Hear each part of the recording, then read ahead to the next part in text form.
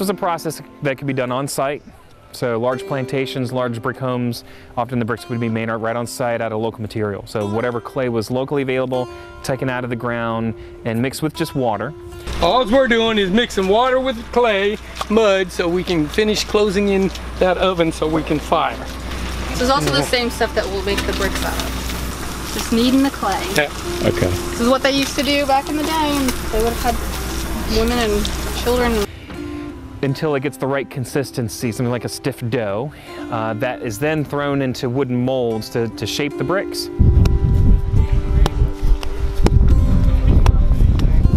So you get it into sort of a brick-like shape and then roll it in the sand. These are sand-struck bricks. The striking method uh, sort of describes how they're uh, released, the type of lubricant used. So these are lubricated with sand. So when they come out, they're coming out because there's this there's sand going all around. So now I'm gonna strike it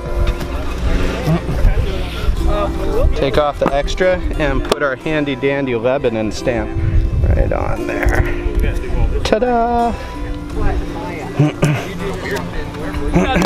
Here's some good looking bricks. And then the bricks are allowed to dry in the sun, in the air for several days or several weeks or several months, producing, I mean, in, in some cases, 2,000 bricks a day. And you're doing that for weeks and months, you're gonna pile up a lot of bricks. And once all the bricks for the project had been made, all the bricks would then be collected together and built into what's called a clamp or a kiln, all stacked up, and you can sort of see a smaller one we've got in the back, um, usually about 10 feet tall, 10 feet wide. They can be 30, 50, 90 feet long, depending on how many bricks they were trying to fire. From start to finish, um, it takes about a week of firing the bricks, 24 hours a day with wood fires, very slowly but gradually building the heat until the bricks look like they were done. That's about a 2,000 degree heat. When we start the firing, you have to start it really, really low to give the bricks a chance to dry and sort of push that last little bit of water out. And that, that can take a day or more, 24 hours straight. And then beyond that, it's working the heat up a little bit, a little bit, a little bit, until, until the bricks look like they're done. You look for the color they're glowing, uh, how much smoke and how much fire is coming out of the top. Uh, you can see glowing bricks from bottom to top of the stack. So you just look at those signs to figure out when you're done. 2,000 degrees, and that's not judged with any sort of measuring devices, thermometers. That's just the experience of the brick maker knowing what 2,000 degrees bricks should look like when they're at that heat. Color comes from the iron and or the other minerals in the clay and how they're affected by the heat and the temperature ranges in the kiln as they're fired so we get lots of different heat colors because of the heat. It's something, the product of the clay made it fairly unique. It's not something you're going to see really anywhere else because of just the geology and how the clay layers are formed in this, this part of the country just gave you a different, different look to the brick. Post-Civil War, you get into a lot more industrialization and a lot more well, transportation allows product to start moving longer distances. You can get in more regular, more uniform, factory-made brick, much more consistent product.